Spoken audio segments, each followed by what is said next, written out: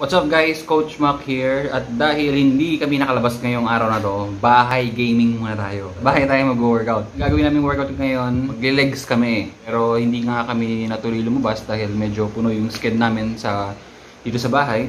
So guys, kung gusto mo ng intense na workout ng ng legs, ng, maski nasa bahay ka lang, maski body weight lang, ito pwede mo tong i-follow. So ipapakita namin dito sa video kung paano talaga gagawin namin. Tapos ipapakita talaga namin na mag-workout kami. Alright. So kung ready ka na, start na natin to. And so let's start the workout. So before tayo mag-start, konting activation muna tayo sa ating muscles. So sisimulan natin sa glutes muscles. Ang unang warm-up na gagawin natin ay yung tinatawag natin na hip thrust. Ayan, so ipapakita sa atin ni Glyza kung paano ginagawa yung hip thrust. Okay, pakita natin siya. Yan, hip thrust. Okay, so nakikita natin ang movement, nakahiga tayo or nakahiga ka na mag-warm up. Okay, inuna niya yung single leg hip thrust. So contracting yung glutes muscles, 10 counts sa isang side. Alright. Actually, pag ginagawa natin yung hip thrust, kailangan nahanapin mo yung angulo kung saan talaga may hit yung muscles mo sa glutes. Kasi minsan, kapag nag-hip thrust tayo, hindi tinatamaan yung glutes, mas tinatamaan pa minsan yung hamstring. So, timingan natin mabuti or hanapin natin kung saan ipo-position ng mabuti yung paa para mas maramdaman siya sa glutes. Hindi lang tayo basta nag-hip thrust. Ayan, natapos na yung 10 repetitions each niya. 2 leg hip thrust. Yan, 20 reps. Okay, count tayo hanggang 20. Ayan, yung napansin nyo, yung ginawa ni Glyza. Um, Ayan, kinapa niya yung muscles yan. Yan, hinawakan niya yung glutes muscles niya. So, ang purpose niyan is for extra sensory. Para mas maramdaman mo yung muscles na tina-target mo. Kasi minsan hindi natin sigurado kung nagko-contract ba yung muscle. So, para malaman mo or para para mas maging effective yung tinatawag natin mind and muscle connection, pwede mong gamitan ang extra sensory ito. Minsan nga, yung chest muscles natin, kinakapa natin kung nagko-contract. Ngayon, pwedeng pwede rin siya sa ating glutes muscles or sa ating hip thrust. Okay, watch this video guys. Okay, uh, we'll do our best na matapos tong workout na to dahil medyo intensify natin siya. Okay, pipilitin na namin na itong mga workout na gagawin namin ay wala masyadong editing, wala masyadong uh, pagkakat ng video. Kung makikita nyo na mapapagod kami, eh, ganun talaga yon. Okay, so para hindi masyadong poise yung mga workout namin, talagang mag-workout kami dalawa. Okay, position lang muna natin tong camera. Ayan guys, simulan na natin yung workout. Full body weight workout na legs. Tuloy-tuloy yung mga exercises. First set na workout, limang exercise. Pwede nyo sundan tong workout na to if you want a body weight workout for legs. Uh, medyo advanced. Okay, game tayo. So each workout na gagawin namin ay 30 seconds. Tapos magpapahinga kami ng konti. And then another 30 seconds. Each exercise yan. Okay? Bigyan mo ng at least 10 seconds rest ang uh, mga in-between ng exercise. Tapos, banat ulit ng 30 seconds. Kakatig natin ang legs through body weight workout. Okay, first workout. Squat. 3, 2, let's go. Squat.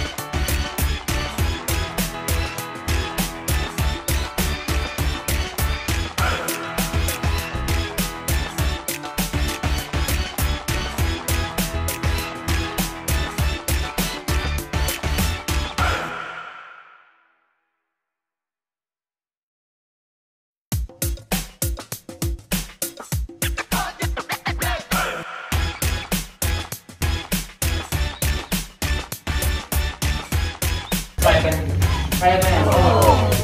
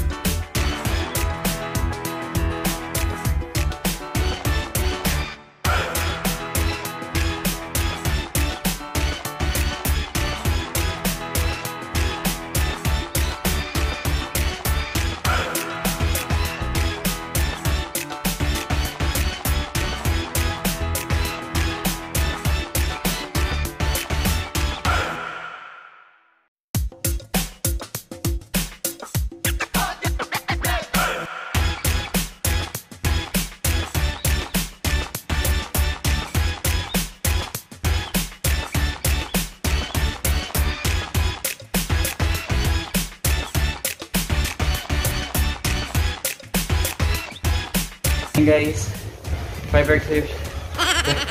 5 exercises. First round yun. Gagawa tayo ng dalawang round. Pahinga muna sandali. Tapos ulitin natin yung mga ginawa natin.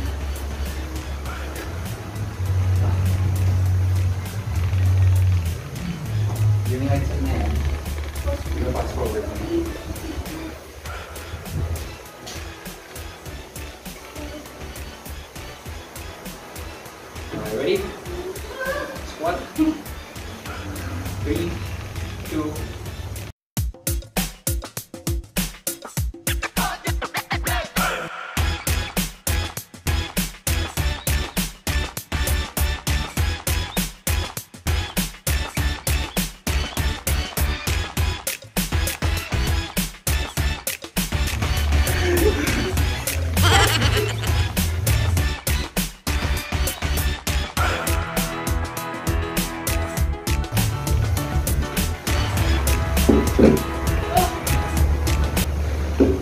Good guys. So we're done with the first set of workout. Limang exercise. Ah. Squat, sumo squat, narrow stand squat, in-out squat, and reverse lunges. So, uh, ang recovery part siya ng workout. Pwede kayo mag-water break muna. Ah. Catch your breath. Tapos balik tayo sa workout. So guys, ang goal natin dito sa workout natin ay um, ibigay natin yung enough o yung intensity para sa legs as much as possible. Kailangan mapatig natin siya. So, ang aim kasi natin, kahit wala tayo sa gym, kahit body workout lang yung ginagawa natin, ang gusto natin, ma-reach natin yung fatigue ng legs. Eh kasi nga wala tayong mga equipment dito, wala tayong weights.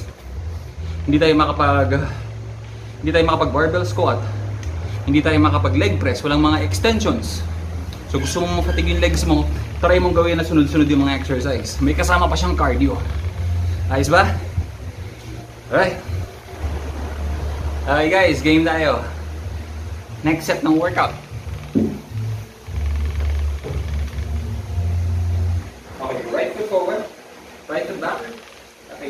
Tayo guys.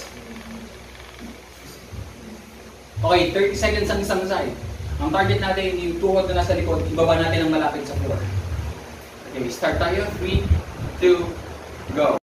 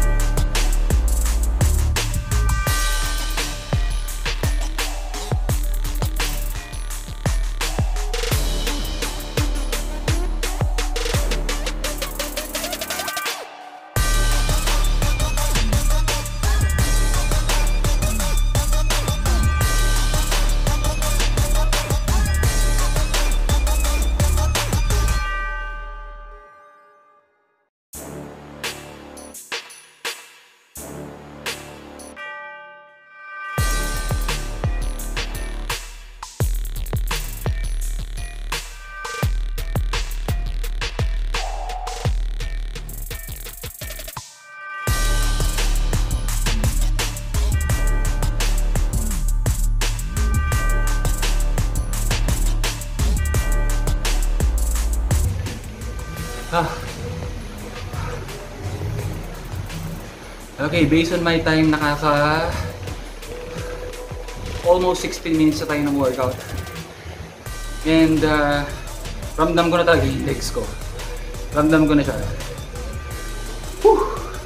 So it's one technique na pwede mong gamitin kapag nasa bahay ka. Kapag wala mga equipment, gawin mo ng sunod-sunod yung mga exercise. Since uh, wala masyadong gamit, tapos gusto mo maabot yung yung pump ng legs, yung fatigue niya, sunod-sunod mo siya gawin. So itong video na to, mapapansin mo, wala siya masyadong edit. Kasi gusto ko makita gusto ko makita mo kung paano ginagawa yung mga exercise nang hindi kasi nang, nang hindi nang, masyad, nang hindi masyadong kinakat yung video. Kasi maraming nagwo-workout or maraming nagpo-post ng mga workout video nila. Actually, hindi mo alam kung talagang nag-workout. Hindi mo talaga alam kung talagang nag-workout sila kasi mostly ng video nila puro cut. Ha! Kasi ang mga mga fitness influencers, fitness models na nakikita natin nag-workout, yung mga pina-follow natin, they have to, for them, they have to look good during the workout. And hindi natin nakikita kung talagang nag-workout sila. Right now, we don't workout talaga namin. So, masakit na yung legs. Ramdam siya, pwede mo doon try sa bahay. Okay. Next tayo, round 2. The same exercises from from split squat hanggang wall squat. Game tayo.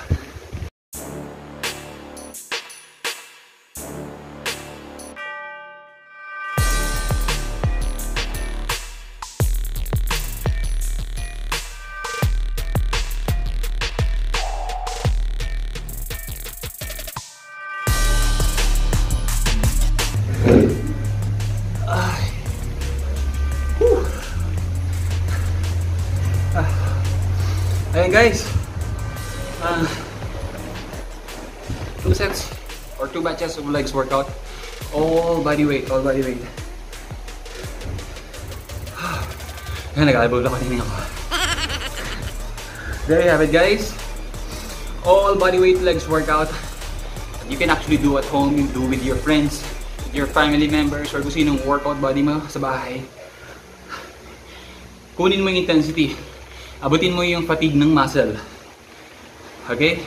So, hindi dahilan na wala kang equipment sa bahay, hindi dahilan na hindi ka nakapag-gym today. Gawin mo yung mga possible na kaya mong gawin. Alright? Okay. Thank you for watching this video. Thank you at natapos mo tong video na to. I'll see you again guys sa mga susunod na video. Okay. Bye guys. Bye bye. Thank you so much. Thank you so much. We're out. Ayan guys, uh, thank you so much for watching. Dinagdag ko lang to. Dinagdag ko lang video na to. Uh, isa kasi sa mga purpose kung bakit ko binidyo ng buo yung workout namin, yung ganong kahabang workout na HIIT workout for legs na tuloy-tuloy. Isa sa mga reasons ay uh, gusto ko rin talaga makita ng lahat kung sino man makakapanood dito. Gusto ko makita nila na yung mga yung mga exercise na binibigay ko sa mga clients ko na pinapa-workout ko sa kanila is actually mga workout na nagawa ko na before and until now ginagawa ko pa rin yun. Uh, mostly kasi yung mga coaches na nagpapa-workout dyan, grabe magpa-workout. As in grabe. Sobrang tindi na na talagang patay kung pataw yung patay kung patay yung client. Pero yung iba, sila mismo hindi pa nagagawa yung ganong klaseng workout. So grabe yung intensity ng workout na binibigay nila pero sila hindi nag-workout sila hindi nagpa-functional workout pero grabe magpa-functional. So I just want you to know guys na itong mga pinapa-workout ko, yung mga pinapagawa ko sa mga clients ko, the same din ng mga ginagawa kong workout. So, uh, oh, naisip ko lang na sabihin sa inyo. Thank you once again guys. Thank you once again.